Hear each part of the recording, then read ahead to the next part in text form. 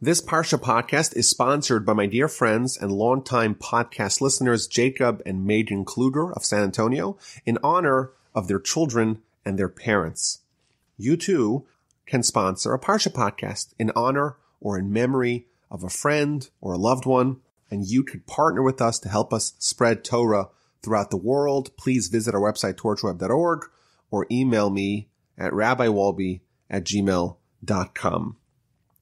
Parshas Vayeishev contains a brisk 112 verses. There's two intersecting storylines. There's a story of Joseph and his relationship with his brother and eventually how he ends up in Egypt. And there's in the middle of the Parsha, we have the story of Judah, his family, and his child that he bore with his daughter-in-law in a very unusual way. And looking at these two stories, from the big picture, we can see now that both of these stories are harbingers of the Messiah and redemption. Joseph, even though he was sold as a slave to Egypt, eventually he became king. And eventually he was there to assist the Jewish people in their formation. And ultimately his sale to Egypt brought about the formation of the Jewish nation. And Judah, even though he has quite a scandalous episode with his daughter-in-law, ultimately the children that are born from that relationship are the forebearers of Messiah. And this is one of the general themes of the Parsha that redemption, salvation does not appear in the expected fashion. It's only post facto, only once all the pieces have settled down, only then can we reverse engineer the episode and examine the divine hand that was manipulating and overseeing everything that happened to bring about the redemption.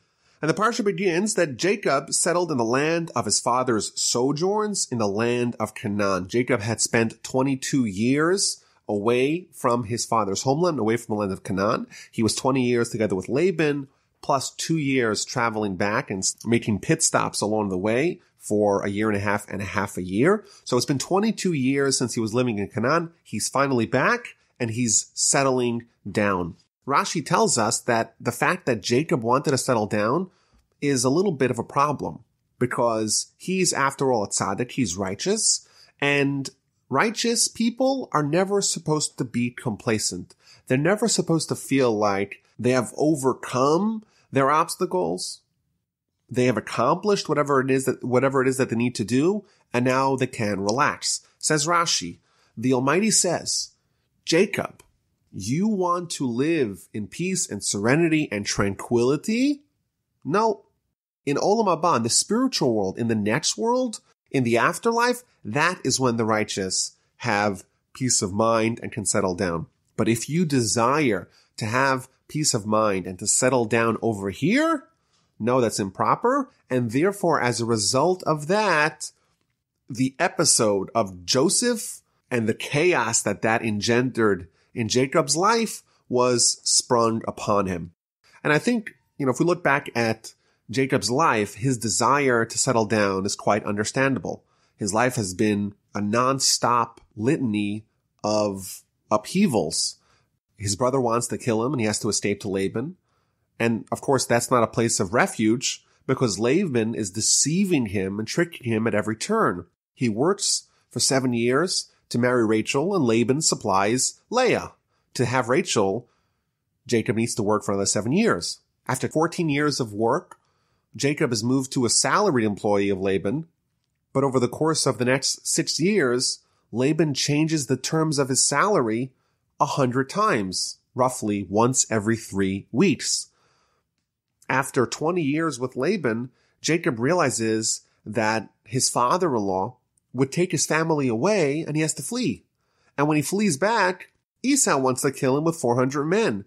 And as he gets closer to where Isaac lived, his daughter Dinah is kidnapped and, ass- and assaulted. And he has to flee the region of Shechem because his sons decimate an entire city.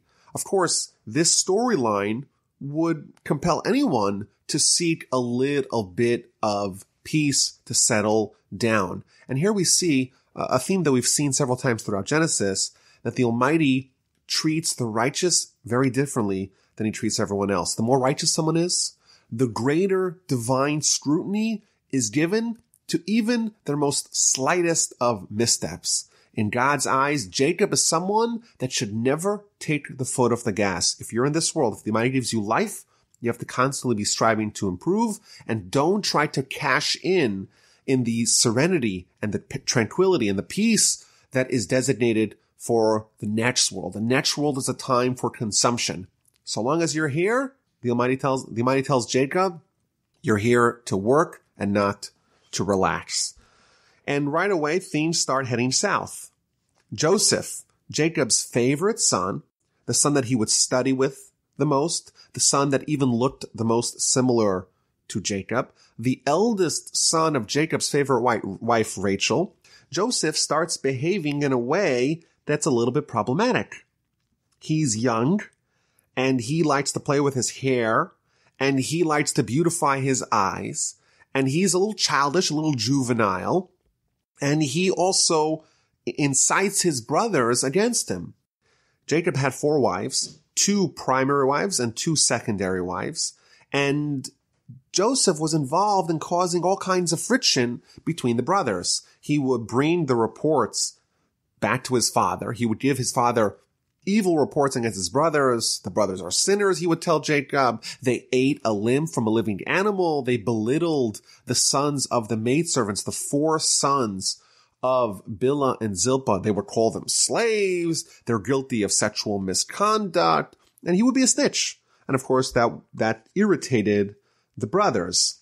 But in addition, because Jacob had such a love and a favoritism even for Joseph, he went out of his way to show that to him.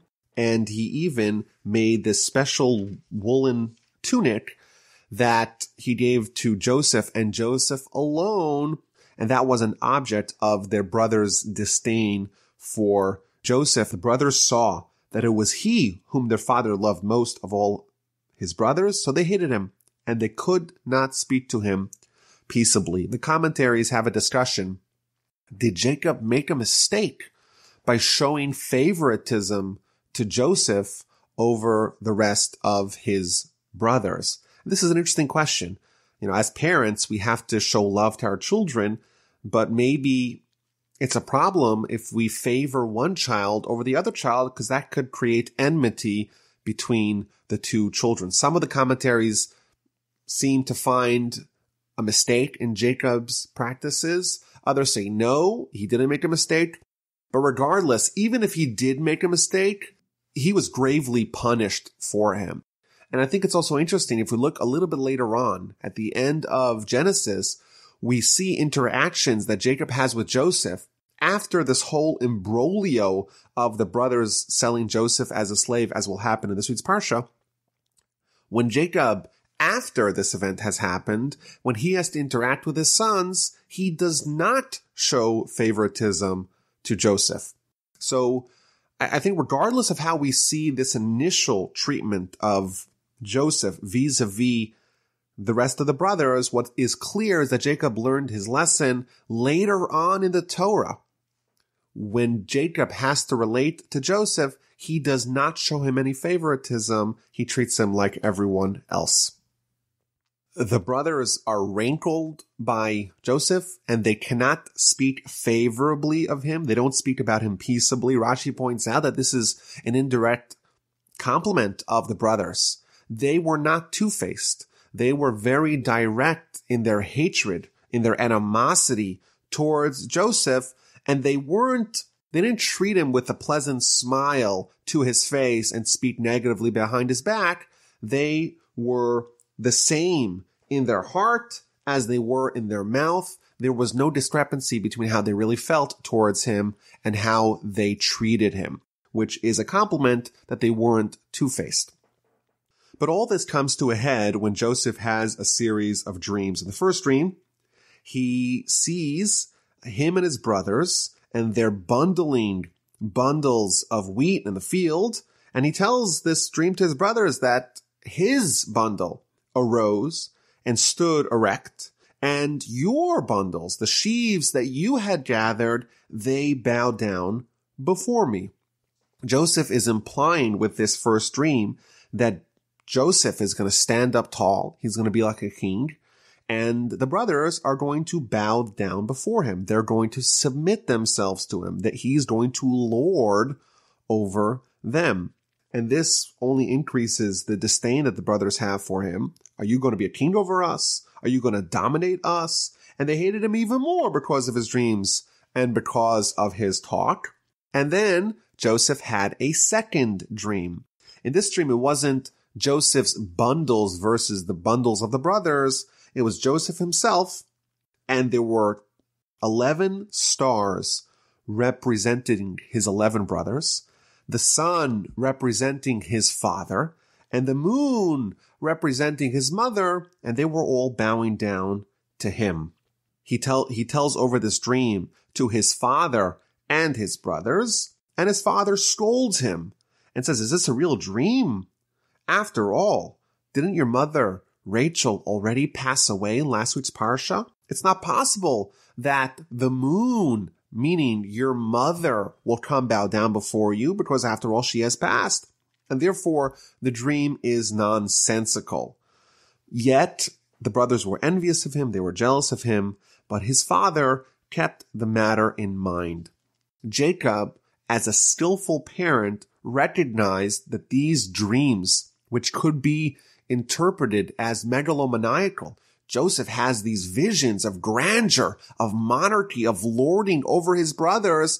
This could cause tension and hatred between the brothers. And therefore, even though Jacob secretly believed that this indeed was likely to happen, or that there was some element of truth in what the dream is foreshadowing, that the dream indeed is a portent to future events, still publicly, when the brothers were there, he disregarded it so that they should not hate him for it, so that he would keep the tensions at bay.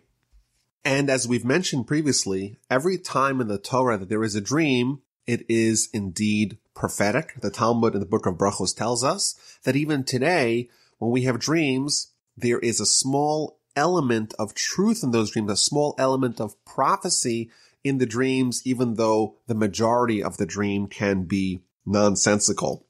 Joseph has a dream and the dream indeed is portending to events that are going to happen in next week's Parsha. Joseph, Joseph will become a king and the brothers will bow down before him.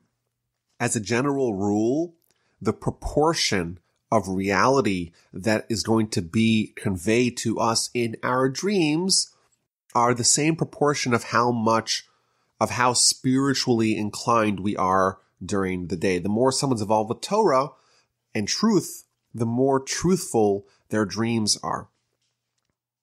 So for example, my grandfather told of the story that in the yeshiva that existed in Lomza in Poland, there was a major fight that broke out and it even resulted in fist fights in the beis medrash and the house of scholarship.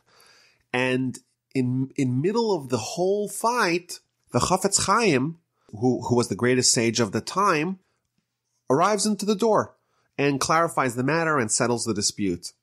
And the question was asked to him, how did the Chafetz Chaim, who was in Radin, far away, how did he know that there was some sort of huge dispute going on in Lomza at the time that he arrived just in the nick of time to settle the matters? And he told them that his son-in-law had a dream that there was a fire in Lomza.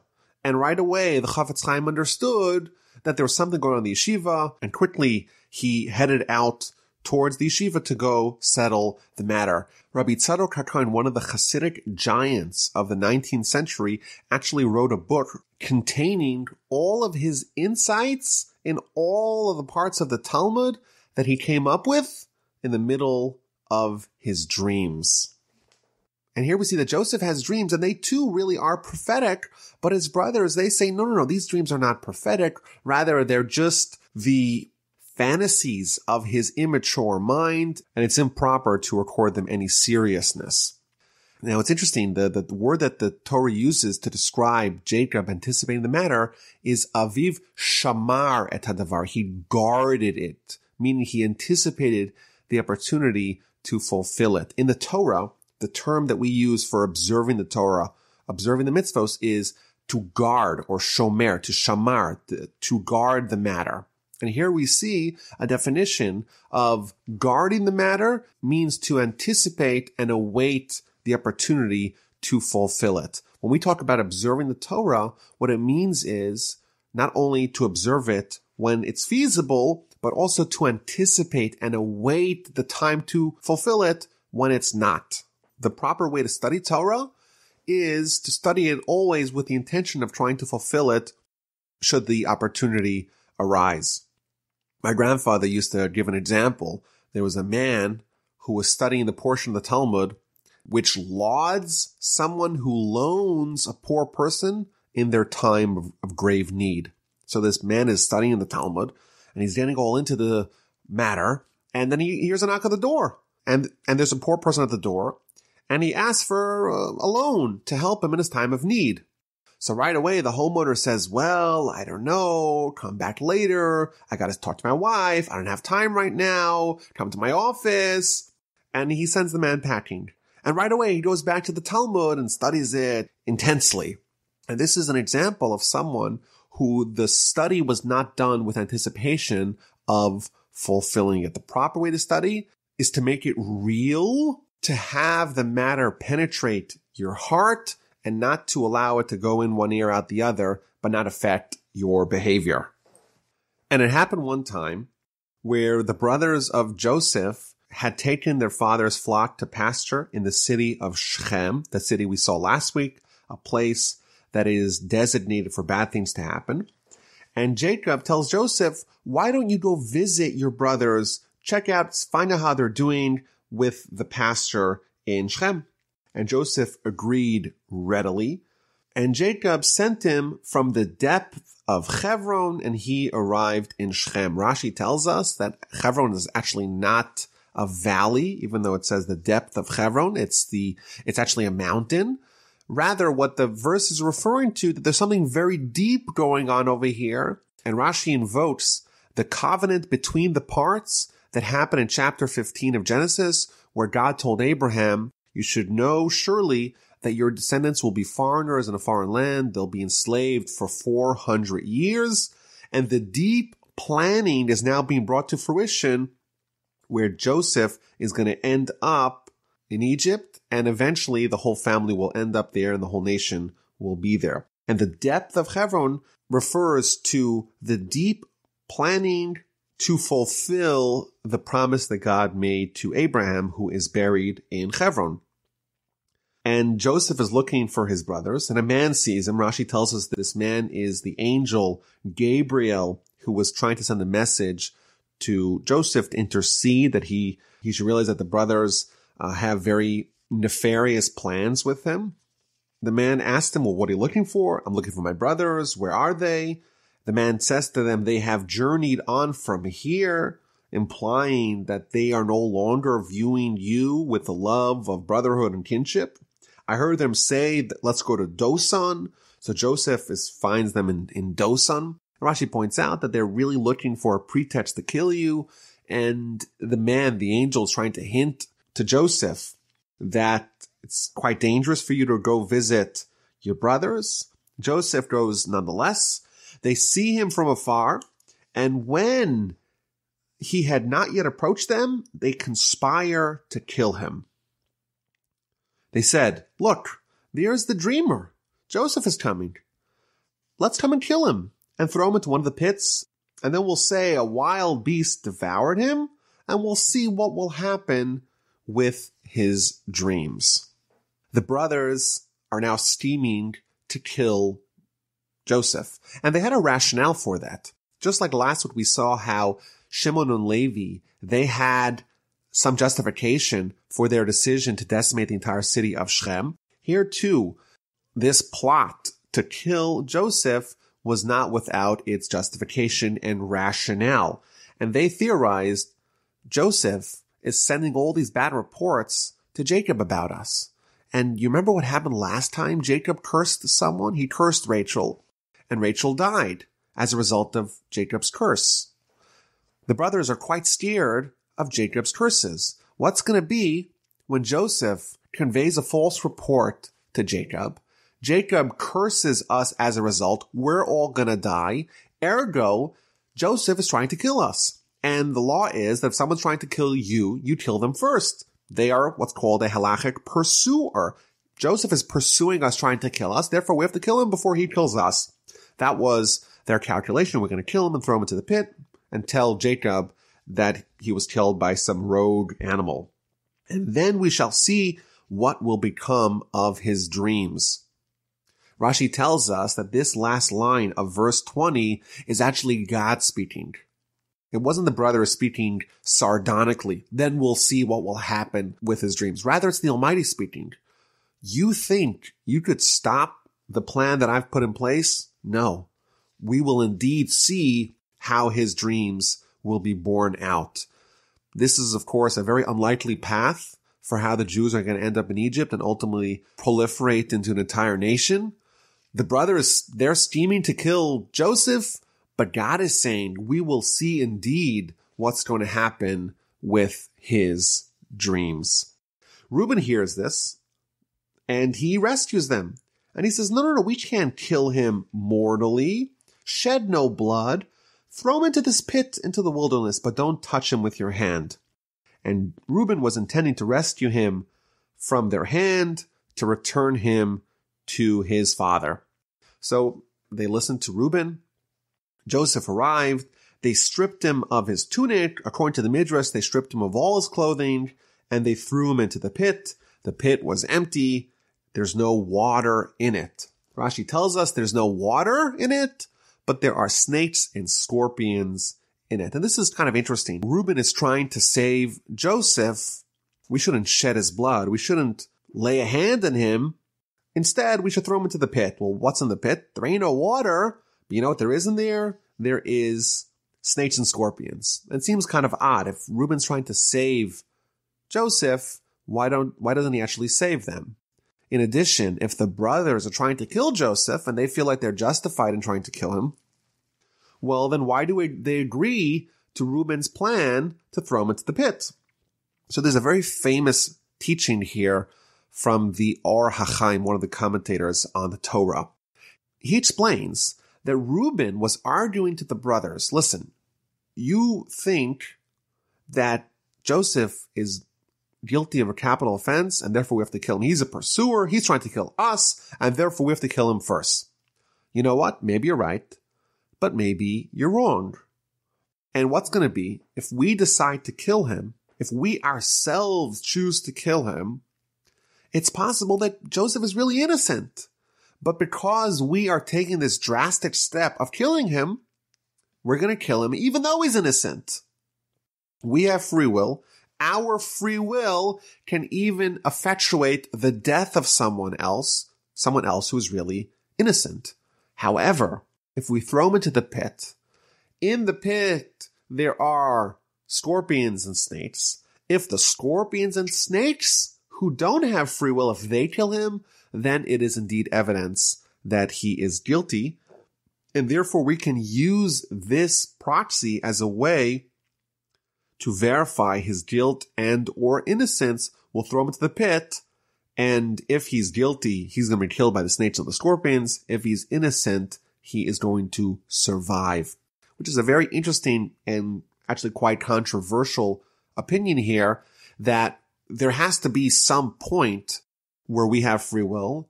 And then there's another point where God makes a decision because if we have free will, well, we make the decisions. And if God has the choice, then he makes the decisions. And therefore there has to be some arena in where humans have a say. And there's other arenas where God has the say. And here, what the Or HaChaim says, and of course this is not something which is universally agreed upon, what he says is that even with respect to killing another person, free will reigns. It's possible for someone to commit homicide, kill another person. That person in God's eyes is innocent, but God gives man the free will to make these choices. Reuben tries to save him, And he does that by throw, by convincing him to throw him into the pit, into the wilderness.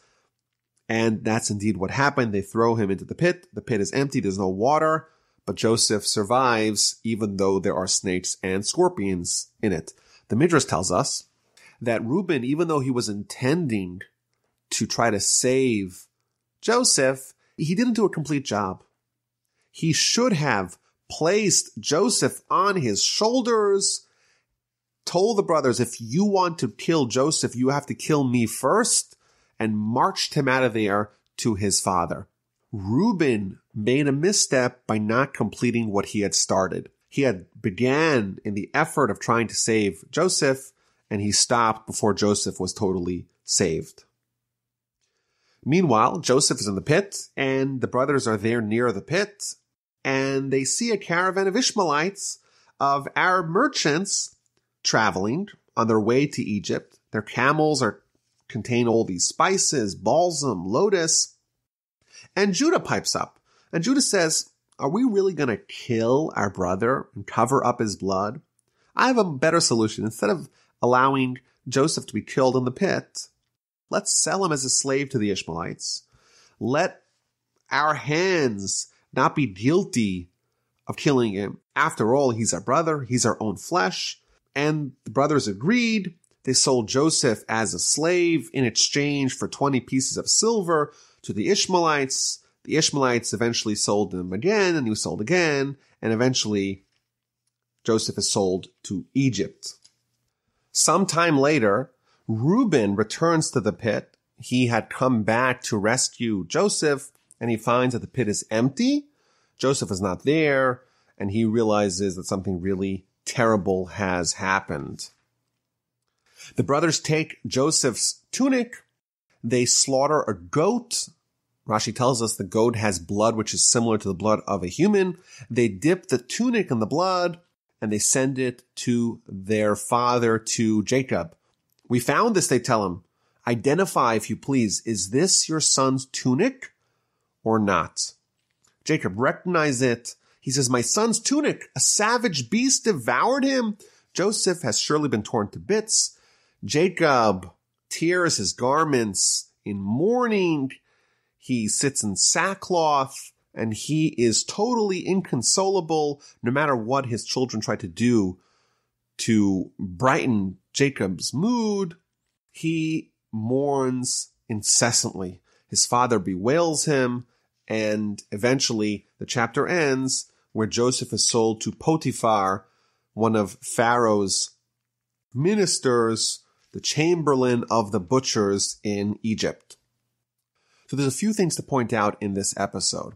The first unusual matter here is that the Torah tells us that the caravan of Ishmaelites were carrying spices, balsam, and lotus.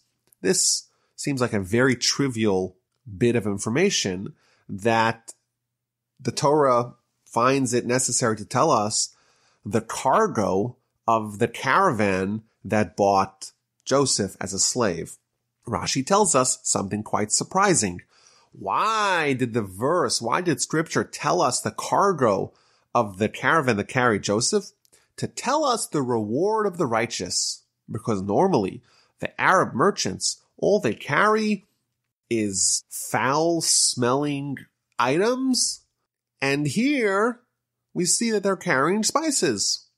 And this shows us the reward of the righteous, meaning the reward of Joseph, that he should not have the unpleasant smell when he descends to Egypt.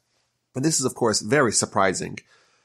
Joseph was just betrayed by his own flesh and blood. His own family members sold him as a slave. He's heading out to the unknown. Uh, he was not treated like a Jewish slave. I'm sure he wasn't given the pillow and a blanket. He was treated probably very harshly.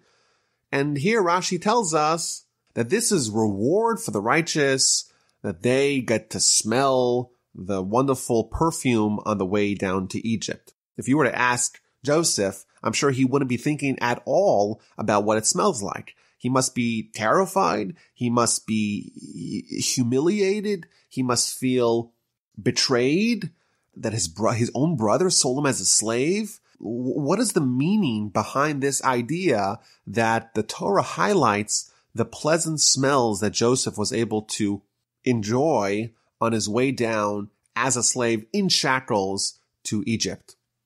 So I think there's maybe two ways to understand this. First of all, it's a lesson in understanding suffering. We believe when someone suffers, it is from God, it is purposeful, and the exact amount of suffering is taken into account by God.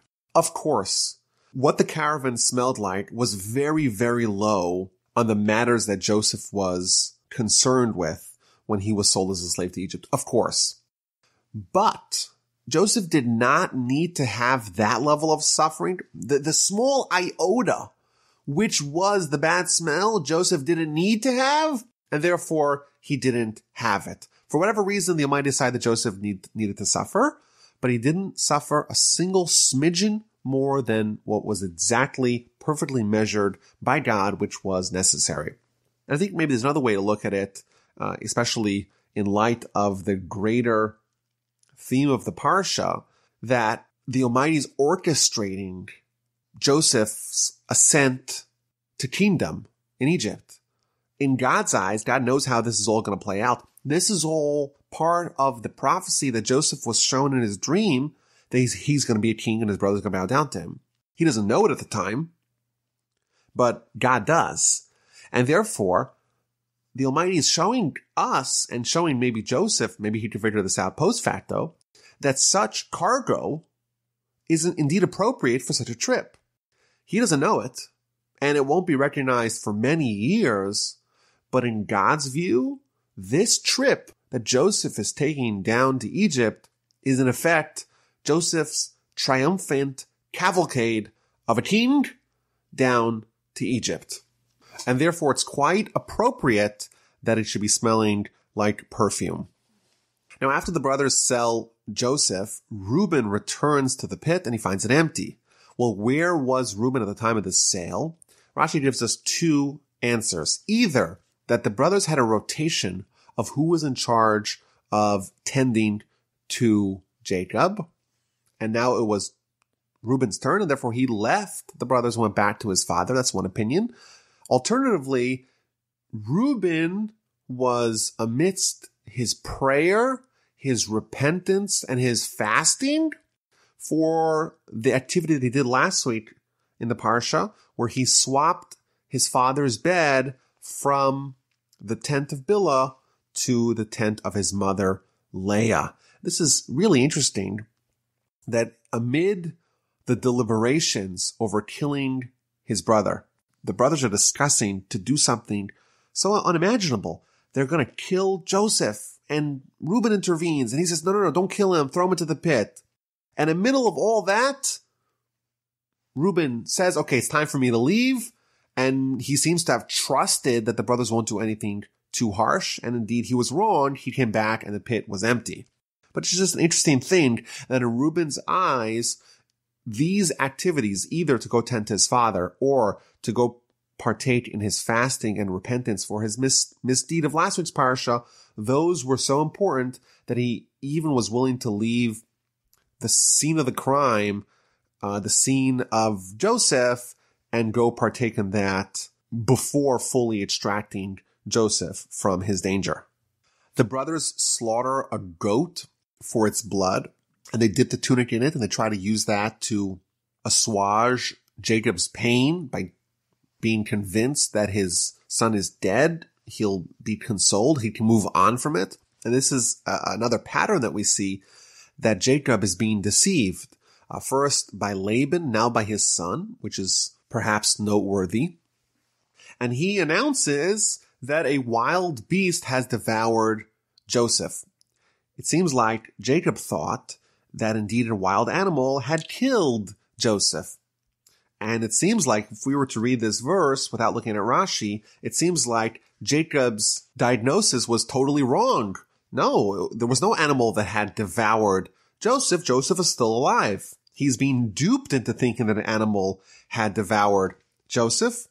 But in reality, Joseph was, was okay. Maybe he was in a bad condition, but he was okay. Rashi says something really interesting. Jacob had a flash of prophecy there was indeed a wild beast about to devour Joseph, not an actual wild animal, but very soon Joseph is going to have to contend with the seductions of the wife of Potiphar, of his master's wife, which is going to try to devour him spiritually like a wild beast. Jacob is sure that his son is gone, and no one tells him otherwise. And indeed, for the next 22 years, the exact number of years that Jacob was away from his father, Joseph is going to be away from his father, Jacob. For the next 22 years, Jacob will be in the dark. The sons of Jacob know. The Almighty, of course, knows. Jacob's father, Isaac, which, who is still alive, he also knows that Joseph is alive, but no one tells Jacob. The brothers, of course, don't tell Jacob for obvious reasons. He would be very disappointed if he finds out that his own sons sold Joseph as a slave. Isaac doesn't tell Jacob because God doesn't tell Jacob. Well, why does God not tell Jacob? So maybe there's a few answers to that question. Rashi tells us that the brothers made a ban, an edict against telling Jacob. They were going to curse whoever went against this blood pact. And they included God in that ban. And God indeed obeyed, and he didn't reveal it to Jacob. This is kind of interesting. Maybe this is another instance where free will is going to override divine decree. The other commentaries tell us that all this needed to happen in order to facilitate the completion of God's master plan to pivot the people to Egypt and fulfill the promise to Abram at the covenant of the parts that his children will be foreigners in a foreign land. Had Jacob known that Joseph was sold as a slave to Egypt, he would have turned over the world to go rescue him, and then all the future events could not have happened. And therefore the money did not reveal it because that would have disrupted the grand plan of getting the Jews down to Egypt. All this pain that Jacob suffers. He's totally inconsolable. For 22 years, he is despondent. He's depressed. He doesn't have prophecy. All that could have indeed been avoided, but it was crucial to be able to go ahead with the steps needed to send the family of Jacob and eventually to found the nation in the land of Egypt. Chapter 38 takes a break from the story and the narrative about Joseph and tells us what happened to Judah after this event. And it was at that time that Judah went down from his brothers. Judah was demoted after the brothers had seen how terribly Jacob had taken the episode of Joseph. They blamed Judah. You told us to sell him. Had you told us to return him to our father, we would have listened to you. And therefore his stature was reduced. He was demoted in the eyes of his brother. And he went and he got married and he had three sons, Er, Onan, and Shelah. And Judah took a wife for Er, his firstborn, and her name was Tamar. Now, this chapter, I think, is a good example of the Torah not being strictly chronological. Of course, Judah getting married, having three children, having his children be old enough to get married, that, of course, is a story of multiple decades, and it intersects in the narrative of Joseph being sold and Joseph arriving in Egypt and what happens to him there. So obviously it's not chronological. So Judah's eldest son Er is married to Tamar, but he was evil in the eyes of God and God caused him to die. Why was he evil? Because he refused to procreate with his wife Tamar. He would deliberately spill his seed outside of her Tamar was very beautiful and he was worried if she would become pregnant, it would diminish her beauty. And therefore he deliberately avoided procreation. And that was evil in the eyes of God. And he died. And then Judah says to his next son, Onan, well, your brother died without any children. It's now appropriate for you in a precursor to what became known as Yibum, levirate marriages, where a brother dies without children and his brother will marry the widow of the deceased brother, Go marry her, Judah tells Onan, and establish off- offspring for your brother. But Onan, he too let his seed go to waste on the ground and refused to procreate with his wife, the woman who used to be his sister-in-law Tamar, and therefore he too was evil in the eyes of Hashem, and he too died. So Judah has a daughter-in-law, Tamar, and two dead sons, Er and Onan. And now Tamar wants to continue. Well, there's a third son, Shelah. Maybe she can marry him. But in Judah's eyes, this woman is a problem. She's killing all his sons. And she, so therefore he deflects her. He says, you know, you, my son Shelah is kind of young. Why don't you wait till he grows up and then I'll give you him to marry? But really that was just an excuse to get rid of her. So he didn't want to allow his third son Shelah to marry Tamar. In his view, he attributed the death of his sons to their common wife Tamar, when in reality it was their own sins that contributed to their early demise. Sometime later, Judah's own wife dies, and our sages find in this death of Judah's wife a little bit of measure for measure, tit for tat for Judah's own behavior. The Midrash tells us, whoever begins doing a mitzvah, but does not f- complete it, but does not finish it, they will bury their wife and their sons. Judah began a mitzvah of saving Joseph. He said to them, don't kill him, save him, sell him as a slave, but he didn't complete it. He didn't actually return Joseph to Jacob, and therefore his wife and his sons had to die. And this is measure for measure. Why? When someone starts something but doesn't complete it, then the appropriate punishment is that they should start something else and not be allowed to see it come to fruition. Judah started saving Joseph, but didn't finish it. Therefore, God says, you'll start building a family, but you won't get to finish it because your wife and your children will die. And after Judah's wife dies, Tamar, his daughter-in-law, she realizes that this was all a ruse. She's not going to be allowed to marry Shelah.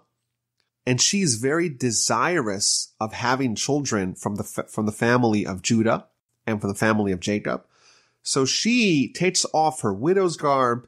She dresses up as a prostitute and she sits by the crossroads waiting for Judah to arrive. Judah sees her. He thinks she's a harlot. She covers her face and they start negotiating on a price for her services. And Judah tells her, okay, I'll give you an animal if you sleep with me but I don't have an animal with me. You have to trust me. I'll pay you later. She says, sure, but provided that you give me some sort of collateral to ensure that you will actually pay. And Judah gives her his signet ring, the garment that he would use to wrap himself, and the staff. In effect, Judah gave his daughter-in-law that he didn't realize was his daughter-in-law. He gave her three items that were easily identifiable with him they consorted together. She became pregnant. She left. She went back and got dressed up as a widow again. And Judah went along his way. Now Judah wants to recoup his collateral, so he sends one of his people to go give an animal to this prostitute, and they don't find her. And no one seems to know of anyone fitting that description. And Judah's man returns to him empty handed. There's a woman out there whom Judah spent time with, who now has three identifying items to show that she had this relationship with him. And three months later, and Judah gets a message. Your daughter-in-law, Tamar, who's really supposed to be waiting to marry your son, Shelah, she must have committed harlotry. She's pregnant after all. It's three months have passed and now she's showing and Judah says, Judah was, I guess, the religious leader of the locale. And he says, take her out and let her be burned. That is what is done to women who behave in such a manner, or at least that's what was done at the time. Let her be burned. And as she was taken out, she sends a message to his fa- to her father-in-law. She sends those three items And she tells him, by the man to whom these belong, that is the father of the child. Identify, if you please, whose are these signet, this wrap, and the staff. Judah recognized, he says, she is right. It is from me. I didn't give her my daughter Shelah, and therefore she took this drastic action. So a few things over here. First of all, Judah, he was the one who killed the goat to dip Joseph's tunic into it to deceive his father. And here he's supposed to send a goat to Tamar, to this prostitute, the person he thought was a prostitute, as payment. And he is deceived with a goat, measure for measure for his deception with a goat. And after Tamar is accused of committing a capital offense, why was it considered a capital offense as discussed by the commentaries? Interestingly, the Baal HaTurim tells us that no, they weren't going to burn her and kill her. They were going to brand her as a prostitute for her action, but they weren't going to kill her. But regardless, after she's accused, she doesn't announce to everyone that, oh, it's my father-in-law Judah. He's the one who's really the co-conspirator in this crime. She throws the ball to his court. She says, I'm going to give you the choice. Either you're going to admit publicly and shame yourself, or you could kill me if you want. That's your choice. Says the Talmud. From here we see a very important lesson. To embarrass someone publicly is something very severe. Their face becomes white. The blood is drained from them. And that is equivalent to killing them on a certain degree. And therefore it's preferable for a person to let themselves die and not whiten the face of their fellow publicly. Tamar, she could have very easily exonerated herself by announcing to all Judah is the father, but she didn't do that. She said, I'm not going to embarrass you publicly, even if that means I'm going to die. Judah displays a certain resoluteness of character. He admitted that she was right. He was wrong. She became pregnant from me and she was exonerated. In effect, the Levirate marriage that was supposed to be done by the third brother was fulfilled by the father, by Judah. He contributed towards finding a legacy for his two deceased sons with his daughter-in-law, Tamar. And sometime later came to pass that she's about to give birth and it's twins and something interesting happens. One baby comes out first. They assume it's the firstborn. They wrap a string around his hand, but he goes back inside and the next baby is born Peretz. And after the second baby Peretz is born, the first brother that made the pump fake, the one who has a crimson thread on his hand, he is born and his name is Zerach. The Ramban in his commentary he says something very fascinating. He says that there's a secret of levirate marriage. Again, the marriage of a widow to try to establish a legacy for her deceased husband. What happens in that transaction is that the soul of the deceased husband returns to the child born from his wife. Tamar, she has two deceased husbands, the two eldest sons of Judah, Er and Onan, and therefore there's two souls that need to be perpetuated via the Levirate marriage done by Judah, and therefore she has twins. One of those children has the soul of Er, and one of those children has the son of Onan, and they are able to maintain a certain legacy through this Levirate marriage. Uh, this story is actually telling us the origins of King David and by extension the origins of the Jewish monarchy and of the Messiah. And this is another theme that we see throughout the whole Parsha, that redemption, salvation, the stories of the greatest heroes and saviors of our people are not necessarily scandal free. Quite the contrary. They are very much replete with scandal. Coincidentally, there's another story, a second story of the founding of the Jewish monarchy that has an instance of levirate marriage, and that's with the episode of Ruth and Boaz, the great grandparents of King David. Ruth also has her husband die, and Boaz performs levirate marriage as well. It seems like what's being hinted over here is that there's something about levirate marriage. There's something about someone doing an act to perpetuate the life of a deceived relative that has the qualities and characteristics needed to be a king and to be a monarch. Thus concludes chapter 38, and we go on back to the story of Joseph in chapter 39. He is brought down to Egypt. He is sold to Potiphar. And even though he's a slave, he quickly rises to the top. He becomes successful and he becomes the right hand man of his Egyptian master of Potiphar. Everything that he touches, he succeeds. Everyone who sees him loves him. He's appointed as the head of the household. Everything in the estate of Potiphar goes through Joseph. There's only one part of Potiphar's life that's untouchable to Joseph. That is the bread of his master, a euphemism for his wife. Everything else under Potiphar's domain is given directly to Joseph. Joseph was handsome of form, handsome of appearance, beloved by all, admired by everyone who saw him, including his master's wife, Potiphar's wife. She looks at him and she says to him, she is entranced by him and she wants to seduce him to sin with him. Joseph adamantly refused. It's so wrong. My master Potiphar gives me everything, everything besides for you.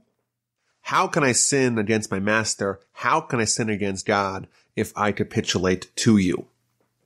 There's a very interesting Rashi at the beginning of this story, which tells us that there is a certain juxtaposition between the episode of Tamar and the episode of the wife of Potiphar. Tamar was very desirous to be a mother in the house of Judah, in the family of the monarchy. And therefore she took very drastic measures to be able to have a child from Judah. And her motivation was righteous. She really wanted to play a part in the development of the Jewish people. Similarly, says Rashi, the wife of Potiphar also intended righteously. She also wanted to play a part in the founding of the Jewish nation.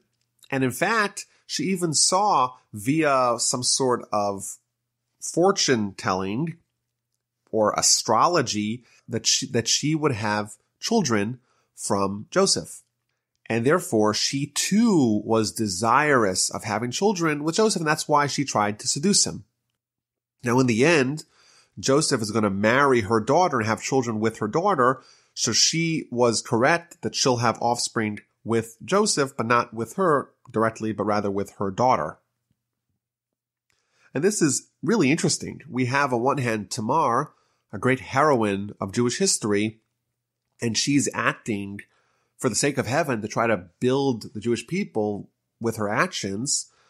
And here we have the wife of Potiphar, she too seems like she's acting for the sake of heaven, yet in Jacob's unwitting prophecy, she's a wild beast. And she causes tremendous pain to Joseph when he refuses her seductions. Yet we see that it's possible for someone to have righteous intentions, but to behave in a terrible, horrific, cruel, and evil manner. As they say, the road to hell is paved with righteous intentions, her intentions were noble. Her actions were deplorable. And it was, she tries to convince and coax Joseph to sin, and every day he refuses to lie beside her. He refuses to be with her. Rashi says he refuses to be with her in this world. He refuses to be with her in the next world. As we've seen earlier in Genesis, the bind of matrimony is not only a bind in this world, it's a bind for eternity. Joseph is not willing to be bound with the wife of Potiphar for eternity. But there was one day that they were alone in the house. There was no one from the household staff with them. And she grabs onto his garment and she says, lie with me, be with me.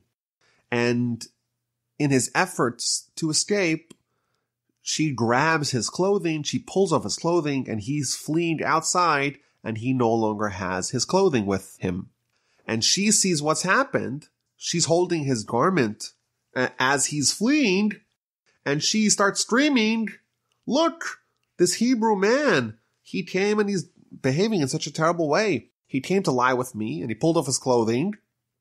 But I called out in a loud scream, and when he heard that I had raised my voice and screamed, he fled and left his garment with me. She turns the whole story upside down. It's not that she is seducing Joseph, it's the other way around. And she starts perpetuating this lie that it was Joseph who attacked her, not vice versa. Potiphar hears his wife's words and he gets angry and he takes Joseph puts him in prison in the place where the king's prisoners were confined, and Joseph remained in prison. Why did Potiphar not execute Joseph? After all, in those times, slaves and even ordinary citizens were executed for much more minor sins than adultery. So one of the commentaries tells, us, the Sforno tells us that really Potiphar believed in Joseph's innocence, but he only imprisoned him to accord honor to his wife.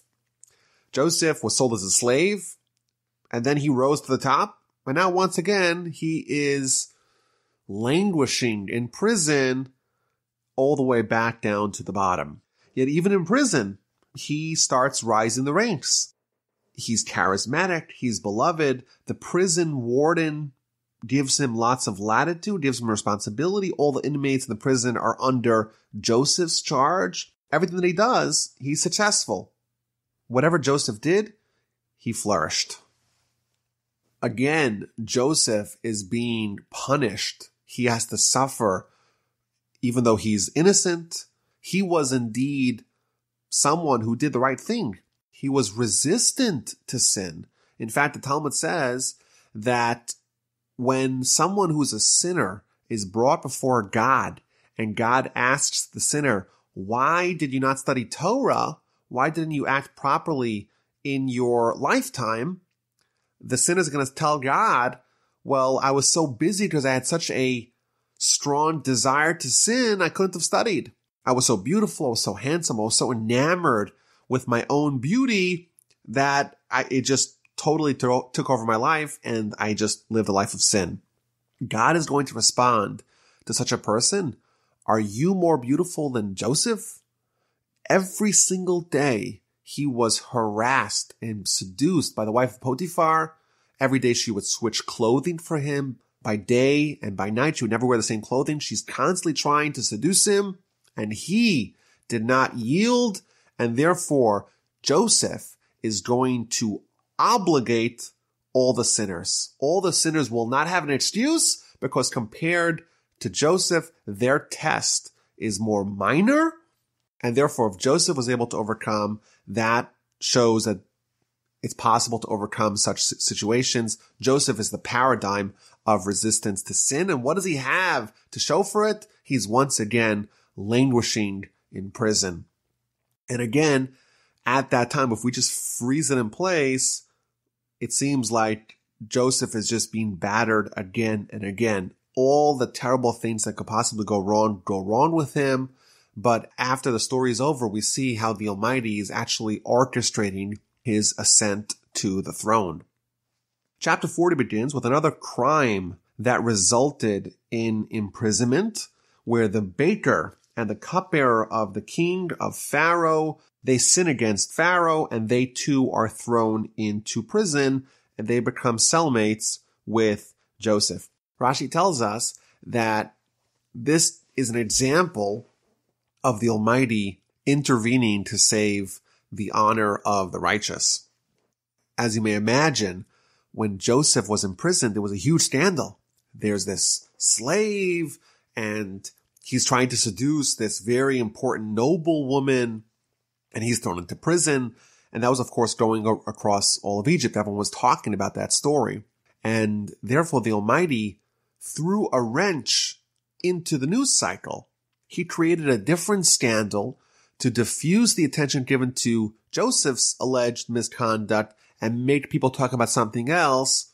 Let them focus on the next item on the list and forget about what happened previously. So now we're following three people in prison. There's Joseph and then there's the cupbearer and the baker. And one night they each have a dream. Each one of them has a dream and they also have the interpretation of the other guy's dream. And in the morning, Joseph sees his two cellmates, the cupbearer and the baker, they're, they're, they're depressed. They're sad. They're confused. And he asks them, why, why are you so downcast today?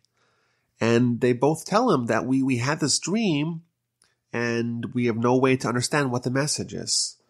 And Joseph tells them, why don't you share your dream with me? After all, the interpretations of dreams are in the eyes of God, but maybe I can help you decipher what the message is.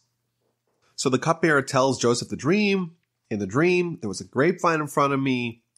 There were three tendrils on, on the grapevine and it blossomed and the clusters are ripening into grapes and Pharaoh's cup is in my hand. I take the grapes, I squeeze them into the cup and I place the cup on Pharaoh's palm. So Joseph tells him, I'll tell you what the interpretation of the dream is. The three tendrils are three days. In three days, Pharaoh will restore you to your post. Pharaoh will remember you and you will be brought back to service of Pharaoh. Once again, you will be placing Pharaoh's cup in his hand. And do me a favor, don't forget about me. Mention me to Pharaoh. Maybe Pharaoh will grant me a reprieve. Maybe Pharaoh will commute my sentence. I did nothing wrong and maybe he'll take me out of this prison, out of this dungeon. Now, meanwhile, the baker, he hears this interpretation and he realizes that this must be true because the baker was given his dream plus the interpretation of the cupbearer's dream and vice versa. And he therefore knew that Joseph's interpretation was accurate. So he tells him, well, I also had a dream. In my dream, there were three wicker baskets on my head and on the top basket, there were all kinds of food, all kinds of baked goods, and there are birds pecking away from the food in the basket above my head. So Joseph tells him, I'll give you your interpretation. You might not be as happy with it as the one of the cupbearer. Those three baskets, they too represent three days. In three days, Pharaoh will decapitate you and hang you on a tree and the birds will eat your flesh. And indeed, it happened. Three days later was Pharaoh's birthday. He reevaluated the status of all his servants. He restored the cupbearer to his previous role. He killed the baker just as Joseph had interpreted. It's been pointed out that the reason why the cupbearer was restored to his job, whereas the baker was killed, that may actually be a result of their character. How so? The cupbearer, he had his own dream plus a dream of the interpretation of the baker's dream. The baker actually died. And therefore, what happened the next day? The next day, he was sad. Why was he sad? Because his cellmate, his friend, the baker, was about to die, and therefore he was sad. And therefore, it shows that he was a righteous person because he was sad with the downfall of other people.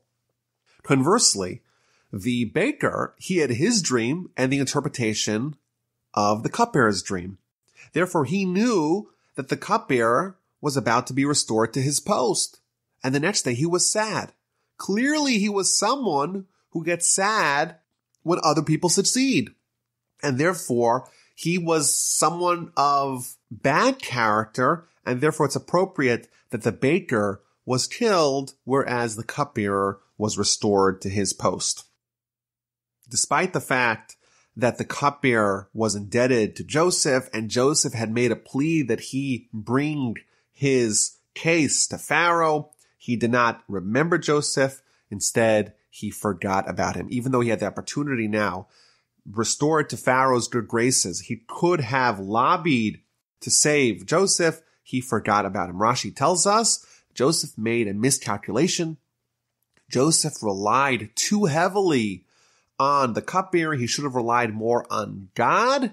Maybe he should have told the cupbearer. He should have mentioned to the cupbearer to go bring this agenda item before Pharaoh, but he relied on it too heavily. As a result, he had to suffer and languish in prison for two more years. Joseph began the Parsha. He was a 17 year old precocious teenager. Maybe he made some poor decisions in how he behaved with respect to his brothers and with, with respect to his father.